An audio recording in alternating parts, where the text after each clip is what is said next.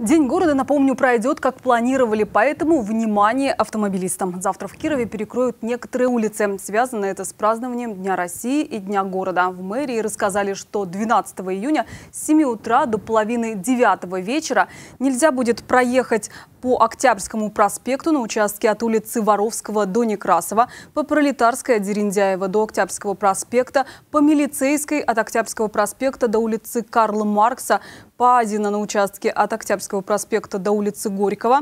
Кроме того, с 7 утра и до 6 часов вечера запрещено движение транспорта по Карла Липнихта на участке от Преображенской до Спасской.